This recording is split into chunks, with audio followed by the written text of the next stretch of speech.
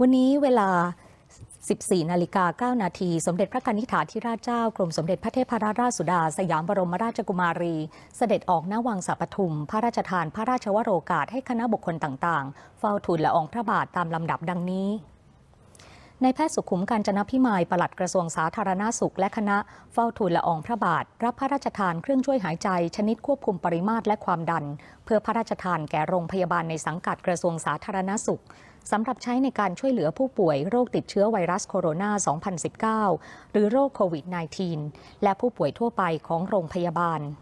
โดยสมเด็จพระกนิษฐาธิราชเจ้ากรมสมเด็จพระเทพรัตนราชสุดา สยามบรมราชกุมารี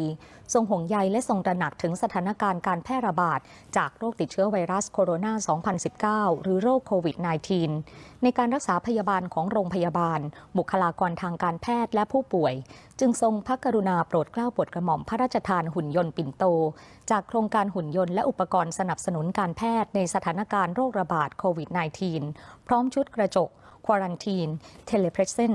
ระบบสื่อสารทางไกลระหว่างแพทย์และผู้ป่วย เครื่องช่วยหายใจ ชุด PAPR ชุด Isolation Gown และชุด shoe cover แก่โรงพยาบาลต่างๆ รวมถึงพระราชทานผ้าอ้อมสำเร็จรูปสำหรับผู้ใหญ่ แก่กรมกิจการผู้สูงอายุ สังกัดกระทรวงการพัฒนาสังคมและความมั่นคงของมนุษย์สำหรับผู้สูงอายุในความดูแลของศูนย์พัฒนาการจัดสวัสดิการสังคมผู้สูงอายุ และหน้ากากอนามัยแก่ครูและนักเรียน โรงเรียนตำรวจตระเวนชายแดน